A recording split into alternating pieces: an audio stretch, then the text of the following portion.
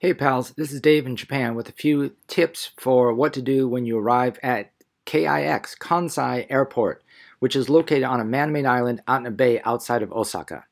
So, once you get through customs and immigration, you're going to need some cash. The best place to do this is go to the second floor and go to the post office where they have a bank machine which you can use your international bank cards. Not all places do this. Post office and 7-Elevens uh, are the place to use that.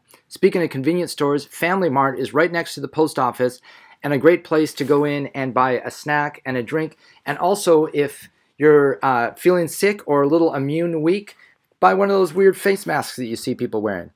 For those of you who have been on a plane and really want to smoke, the only place you'll find in Japan that's dirty and uh, impolite is these smoking closets.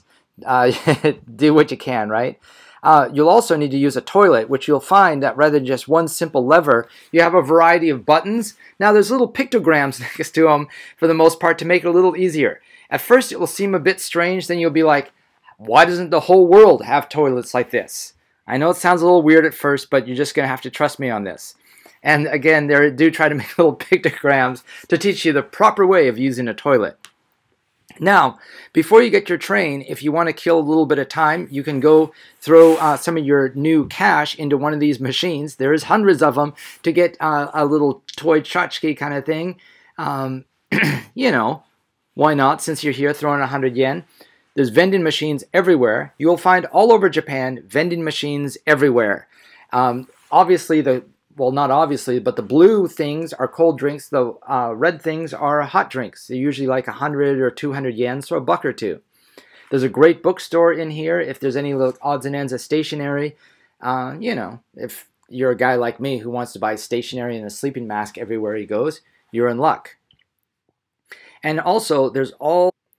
Also, if you're a goofball like me who loves to take stupid pictures, you can also throw a few uh, hundred yen in one of these booths and take silly photos, whether you want like passport style ID photos, but you know, more importantly, fun photos.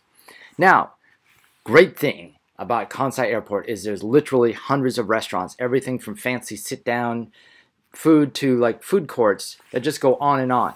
Most of them have signage in different languages or have things that you can just kind of point and click at. Uh, in this case, I grabbed some sushi for about seven bucks for a little plate, sat down in the food court, and there you go. Not too shabby, right?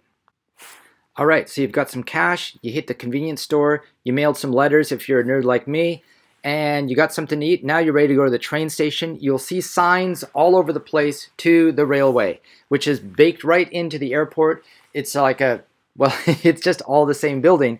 So you follow one of these little breezeways and you're going to end up at the train station. Now, even for Japanese people who are accustomed to taking the trains, the train stations can be a little bit confusing. So I'm going to give you more detail about that in another video so you don't have to sit through this when you're there in a situation where you need to get on the train.